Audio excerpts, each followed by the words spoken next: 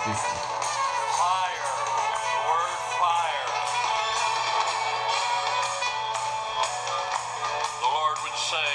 fire this morning and what the prophet just said. Did I not have the three Hebrew children in the fire?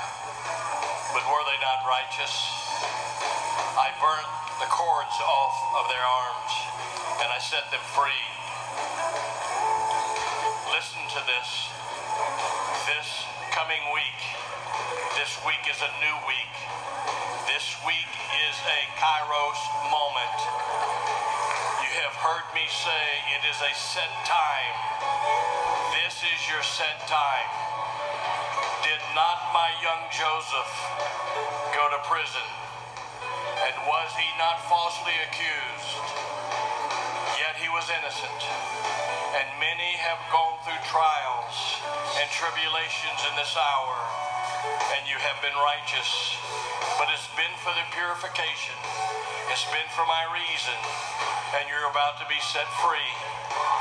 Before the festival of lights, I promise you two things, saith the Lord.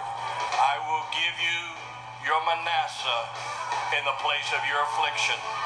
Means I have forgotten the hurt and the harm and the heartache in the place of my affliction.